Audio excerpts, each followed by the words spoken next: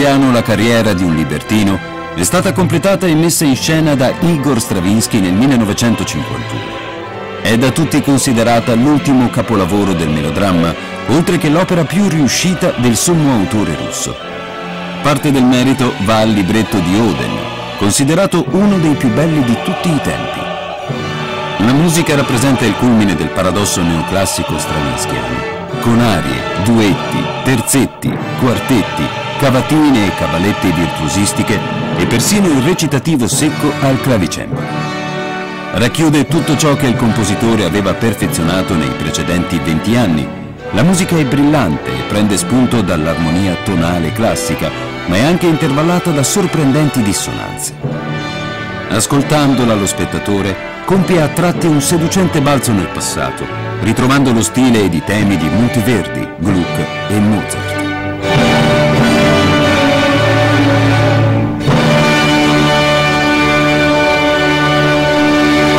Ricordo la prima dell'Ex Progress, ero venuto a Venezia, ero amico di Eugenio Montale che scriveva allora per il Corriere della Sera. Eh, Montale era un musicista, era un baritono mancato, ma insomma, un baritono mancato, ma grande scrittore, ottimo musicista. Ed era un critico e ci vedevamo molto spesso e abbiamo assistito insieme alle prove e ricordo la grande impressione che Montale ricevette prima di sentire la musica di Stravinsky dal libretto di Oden. Trovava che Oden aveva scritto forse i più bei versi che aveva mai, aveva mai, scritto, anche Stravinsky riteneva che questo libretto era uno dei più bei libretti mai scritti, ed è vero. E la prima insomma, era preparata da Leitner, che poi era diressa anche alla Scala, e Stravinsky non era un grande direttore, ma era capace di ispirare l'orchestra e di ottenere dall'orchestra quello che normalmente altri direttori non ottenevano. Gli interpreti erano grandi. Vi ricordo soprattutto Elisabeth Schwarzkopf, che era nella parte della protagonista di Anne, Anne che è la vera protagonista dell'opera più che Tom.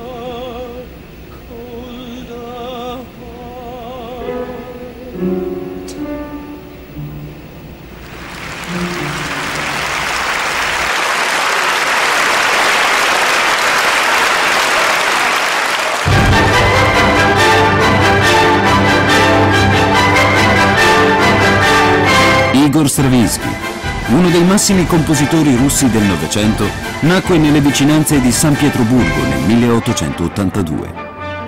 Figlio di un famoso cantante, cominciò lo studio del pianoforte a nove anni. destinato alla facoltà di giurisprudenza, intraprese piuttosto tardi i veri studi musicali quando conobbe Nikolai Rimsky-Korsakov, che gli diede lezioni e pubblicò le sue prime composizioni. Fu l'incontro nel 1908 con il famoso impresario Sergei Diaghilev, fondatore e direttore della Compagnia dei Balletti Russi di Parigi, a dare una svolta decisiva alla carriera di Stravinsky. Frutti straordinari della collaborazione con Diaghilev furono l'uccello di fuoco, Petrusca e il rito della primavera, un'evocazione rituale della Russia pagana che divenne una svolta nella storia della musica e rivelò al pubblico parigino un talento musicale straordinario.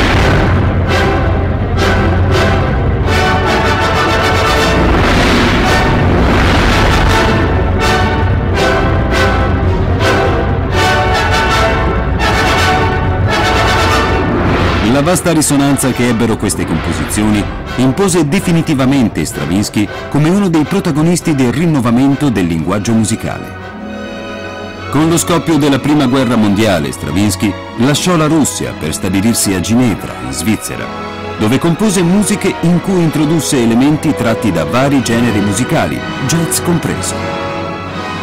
Nacquero così opere di teatro da camera quali Reinhardt, La storia del soldato, Le nozze, in cui Stravinsky elaborò uno stile nuovo e originale, spesso caratterizzato da una raffinata ironia.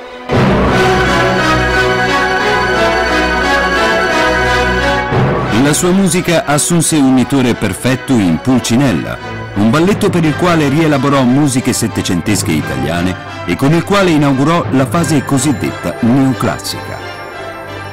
A questo periodo appartengono lavori di straordinaria lucidità poetica, come i balletti Apollon Musagette, le due sinfonie ed il capolavoro teatrale de La carriera di un libertino. Negli ultimi anni della sua vita Stravinsky si trasferì negli Stati Uniti e diede alla luce pagine più sperimentali con accostamenti arditi come Canticum Sacro. Morì quasi novantenne a New York nel 1971, ormai conosciuto e apprezzato in tutto il mondo. È sepolto a Venezia.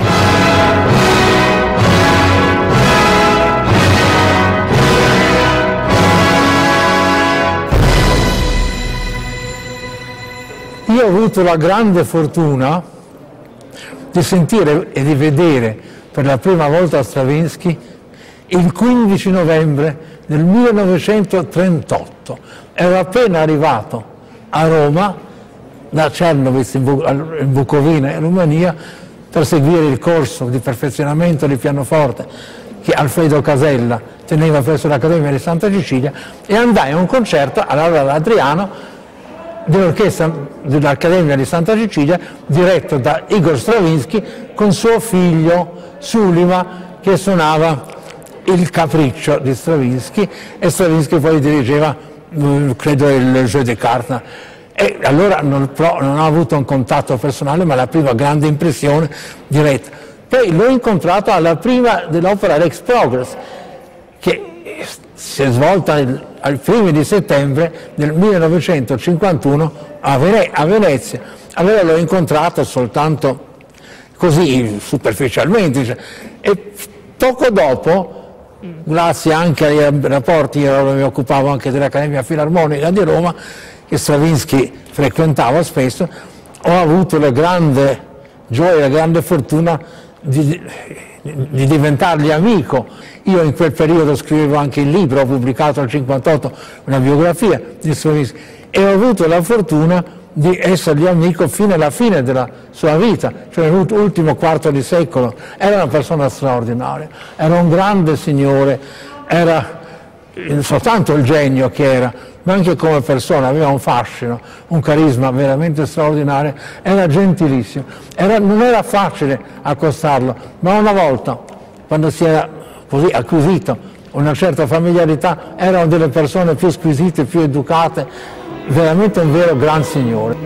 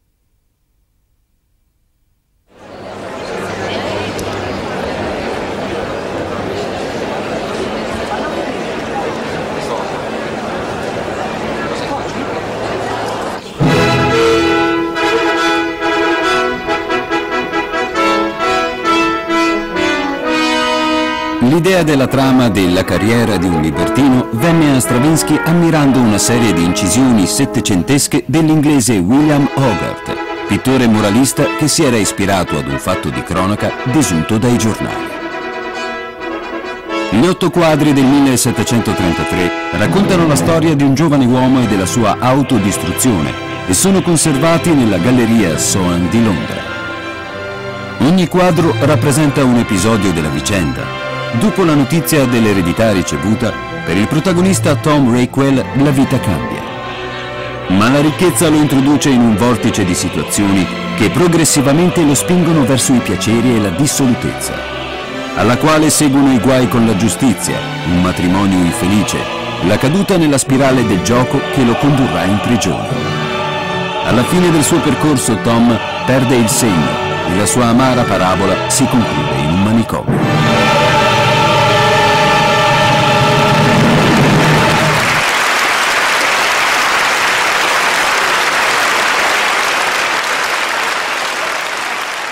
È un'opera di estrema tenerezza dove non c'è neanche un solo momento della brutalità di quello Stravinsky barbaro della sacra della primavera. Dunque comincia, come dicevo, con un, con un piccolo preludio, con accordi perfetti.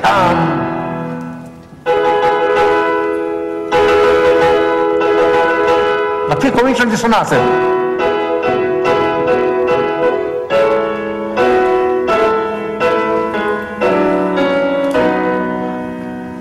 C'è già tutto lo stile di Stravinsky neoclassico. Comincia con delle consonanze, con accordi perfetti per sovrapposizione di terze. Invece poi subito cominciano le dissonanze. Qui per farvi vedere dove in fondo è la vera fonte di questo tipo di armonia, non più per per terze ma per quarte. Ricordate la scena della pastorale di Beethoven dopo la tempesta, quando il clarinetto prima intona questa melodia di ringraziamento.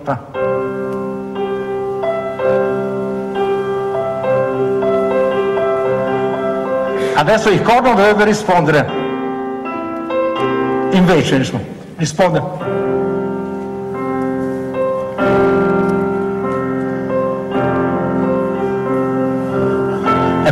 continua in maggiore. Vedete, qui per la prima volta forse nella storia della musica viene adombrata un tipo di armonia per sovrapposizione non di terze ma di quarte.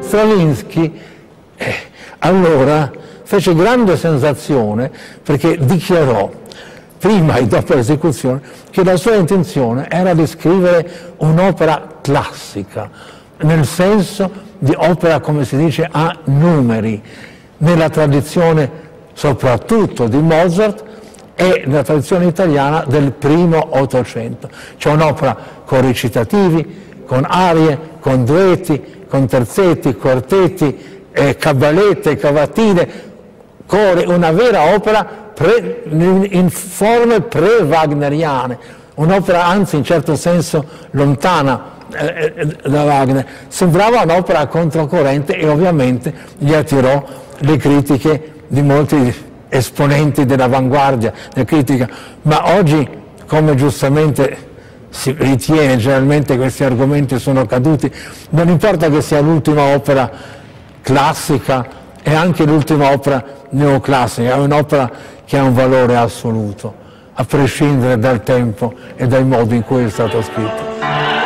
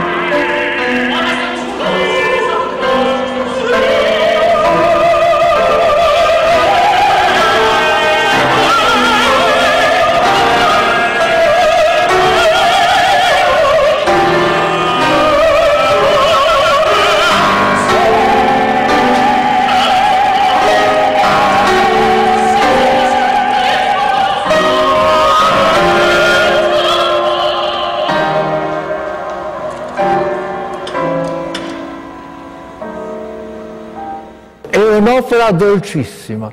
L'orchestra è un'orchestra mozartiana, anzi piccola mozartiana, non ci sono i tromboni che Mozart per esempio usa nel Don Giovanni, ed è un'opera estremamente tenera, è un'opera dolcissima.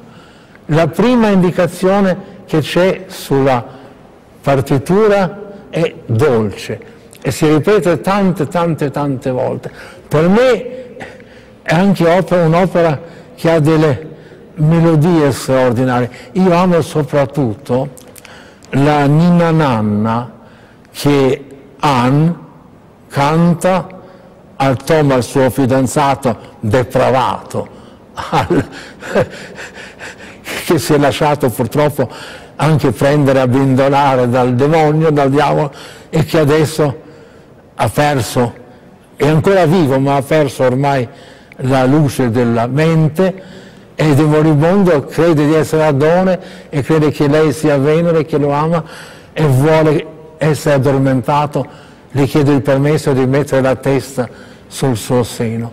E Stravinsky per questa scena che mi ricorda veramente quasi la pietà di Michelangelo, ha scritto una delle cose più dolci, più commoventi, più tenere, perché è difficile, io non so cantare, ma faccio la parte del canto che è soltanto accompagnata da due strumenti, uno in alto e uno in basso, tenerissimi.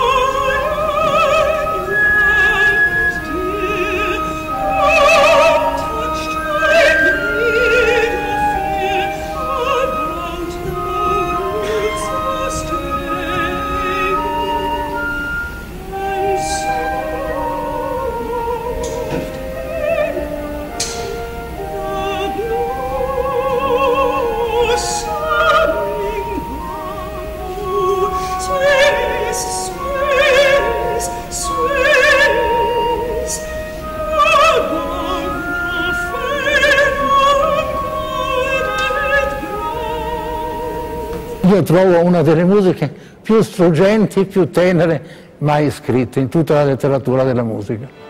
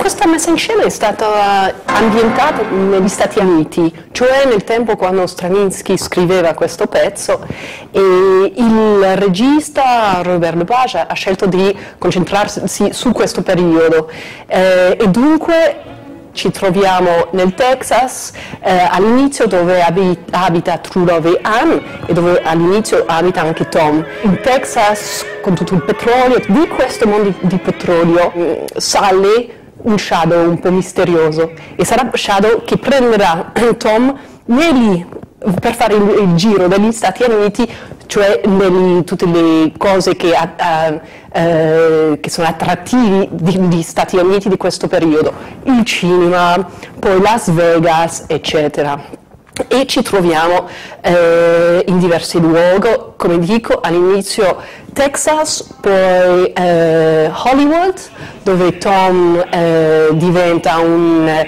un, attore eh, famoso di un film realizzato da Shadow. Eh, e eh, poi c'è un altro film e poi lo troviamo Tom un po' più tardi a Malibu in questa comunità di attori di cinema perché Baba stessa è un'attrice di cinema molto famosa e abita a Malibu in California. E per la fine e, eh, ci troviamo dunque a Las Vegas in questo cimitero, non un vero cimitero, ma un cimitero di neon che esiste a Las Vegas, sono tutti i semi di neon eh, di diverse, eh, come si dice, casini, casino, e, eh, che sono messi in parte di, di, Las Vegas e lì Shadow prende Tom per, e scende nella brutalità, la crudeltà del neon, del mondo di neon. E, la scelta degli Stati Uniti di questo mm, periodo eh, ha anche dato la possibilità a Lepage di eh, prendere anzi delle citazioni eh, di diversi film di questo periodo. Eh, quando eh, dico citazioni ci sono visualmente delle cose che forse riconoscete quando vi, eh, vedete. Per esempio il film Giant con James Dean, che è tutta la storia di Texas, e la casa che vediamo eh, di Texas, la casa di Anne, è una vera immagine più o meno di, di questo film.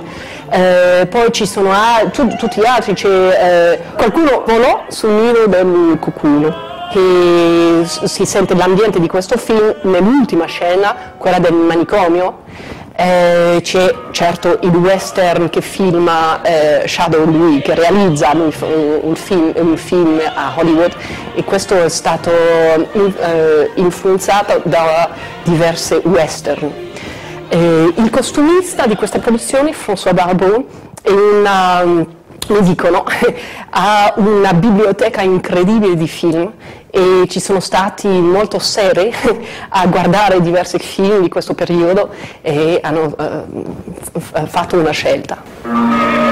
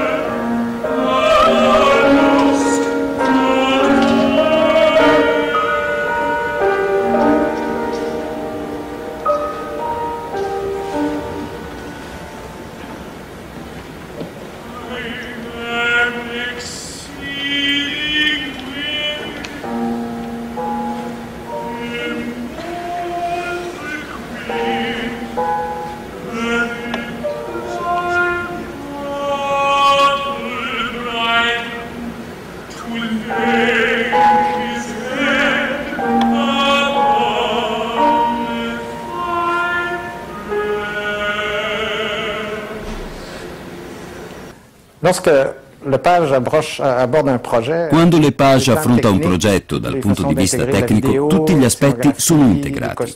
Video, scenografia, costumi, effetti speciali fanno parte della riflessione su come lui vuole raccontare la storia. E ciò che era importante per lui, qui nel Rakes Progress, era di creare un'illusione. Infatti quando il pubblico entra nella sala ed il sipario si alza e la gente si aspetta l'azione, c'è solo un grande palcoscenico vuoto. O meglio, con solo un grande schermo sul quale vengono proiettati film americani con panorami degli anni 50. Questo grande palcoscenico nasconde parecchie botole segrete e tanti effetti teatrali. Per primo spunta Shadow dal pozzo di petrolio, mentre il secondo effetto è quello di un flipper che si trasforma in un bar e tanti altri.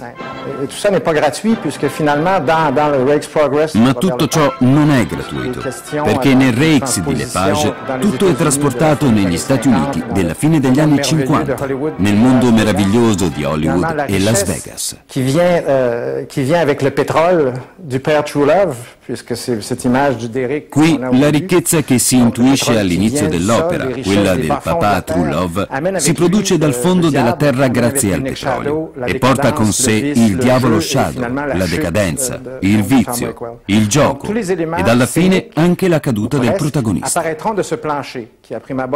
Dunque, tutti gli elementi scenici o quasi appaiono in questo palco vuoto, il pozzo, la casa di True Love, il bar, Tom, che viene inghiottito dal palcoscenico con Goose.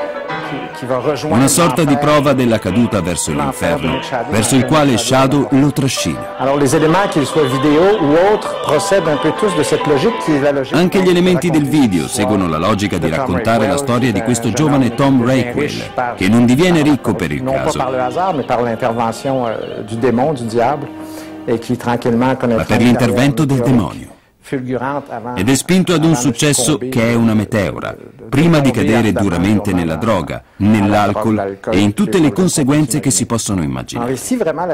E qui tutta la tecnologia, la tecnica e i video sono al servizio della drammaturgia e del libretto di Stravinsky ed Oden. My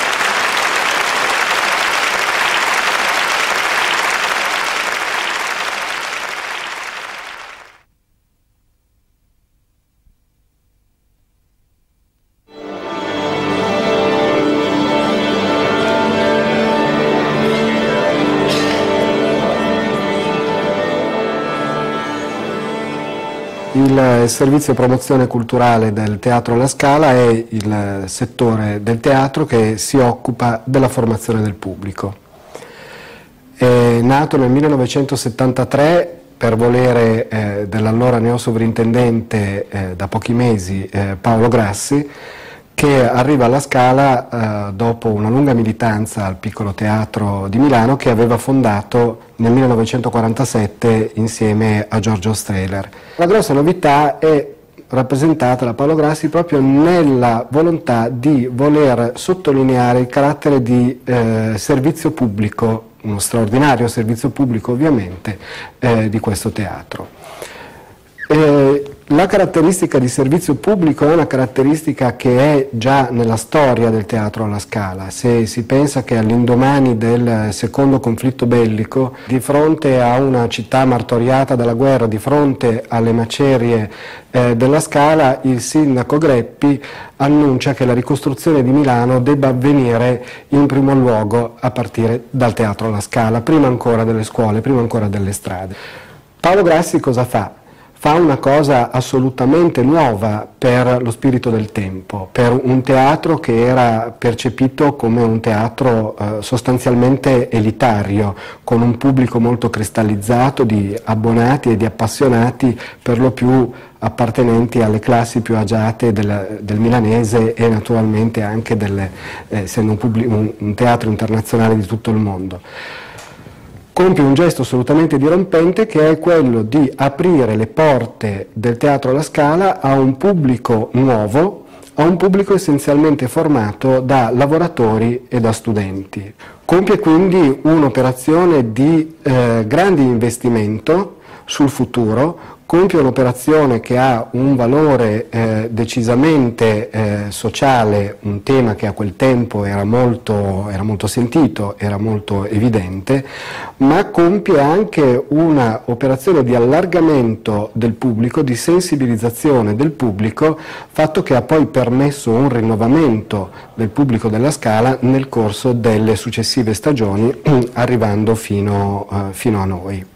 Da quegli anni il servizio promozione culturale fu eh, diretto da una figura mitica che voglio qua ricordare, una figura mitica nel panorama della promozione culturale del milanese, eh, Silvestro Severnini che lasciò all'età di quasi 100 anni il, il, eh, la direzione del servizio promozione culturale. Già all'età dimostra eh, della lucidità e della straordinaria esperienza che eh, quest'uomo riuscì, eh, riuscì ad introdurre produrre.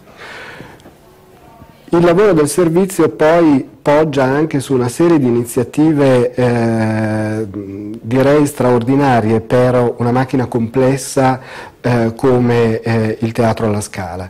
Iniziative che negli ultimi anni si sono concentrate soprattutto nel eh, tentativo, spesso riuscito, eh, di formare un pubblico sempre più giovane. Noi non dobbiamo dimenticare che il teatro alla Scala, a torto o a ragione, è percepito come un teatro eh, non solo elitario, ma come un teatro frequentato da un pubblico âgé. Va invece qui segnalato che il, circa il 15% del pubblico del Teatro La Scala è costituito da persone giovani con meno di 26 anni di età. Il 15% è un dato assolutamente confortante, è un dato assolutamente eccezionale rispetto all'andamento dell'affluenza del pubblico degli altri teatri eh, nazionali e, e, internazionali e questo è merito di un lunghissimo, eh, di un lunghissimo lavoro, di un lunghissimo lavoro di investimento eh, su questo pubblico.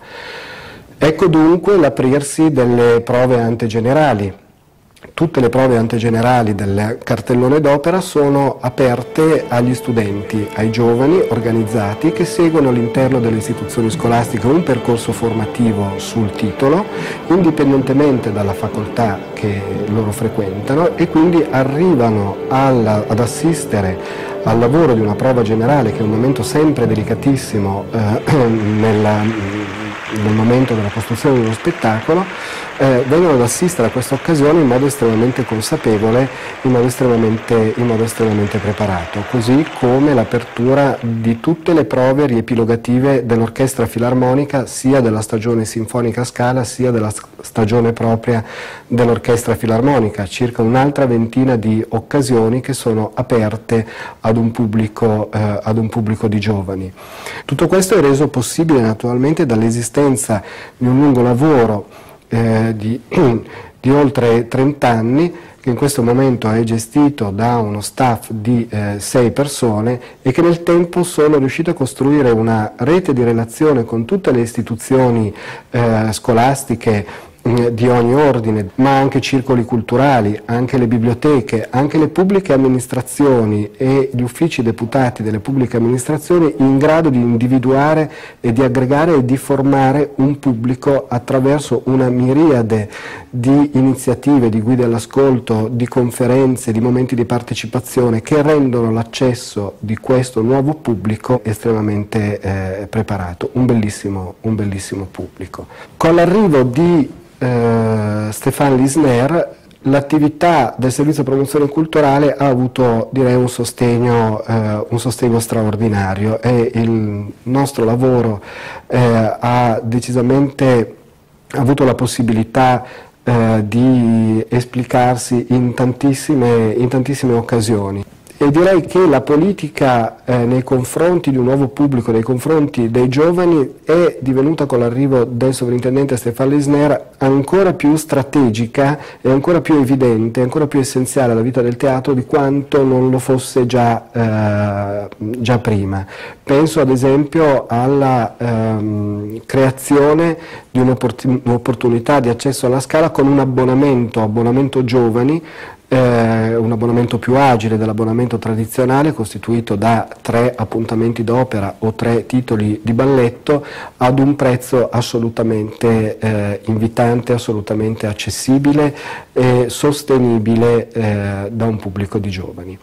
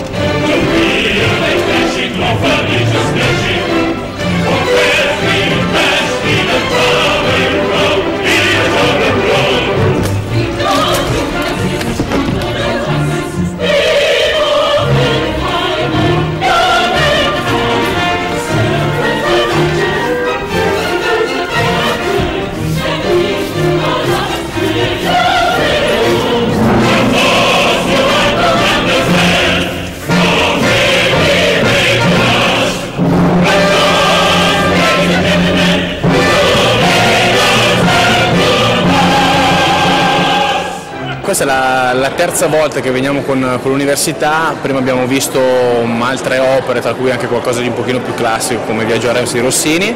Eh, il nostro professore ci aveva già parlato di quest'opera e ci aveva detto in particolar modo aveva parlato dell'allestimento.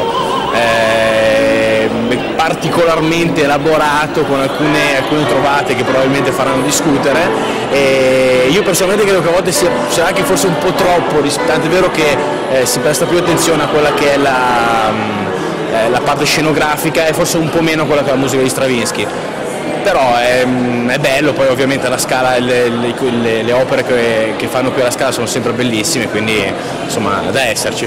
È giusto anche che i giovani riescano eh, a vedere, a entrare a far parte di questo mondo dell'opera che spesso per i giovani viene considerato come uh, un, po', un, po', vecchio, sì, così si può dire.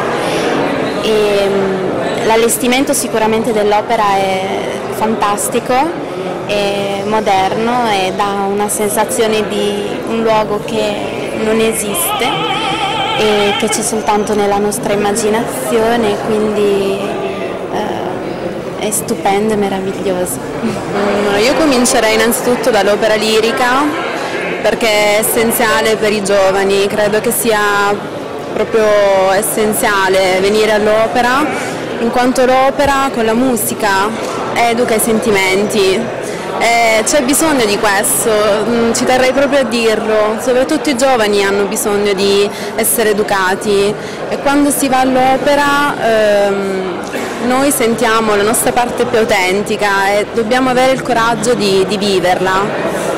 Ehm, lo spettacolo è stupendo, ha degli effetti scenografici bellissimi, è una magia. È la seconda volta che vengo qui alla Scala ed è molto emozionante, poi quest'opera è molto bella, eh, molt, mi, mi, sta piacendo molto di più di Viaggio Randy Rossini, forse anche la musica molto più dolce, molto più non lo so, però mi piace di più, è più emozionante, anche se non lo so, qualcosa nelle scenografie non mi sta convincendo, alla fine, alla fine tirerò una somma, però per quanto riguarda invece la parte musicale, l'orchestra e gli interpreti fantastici, sono veramente fantastici.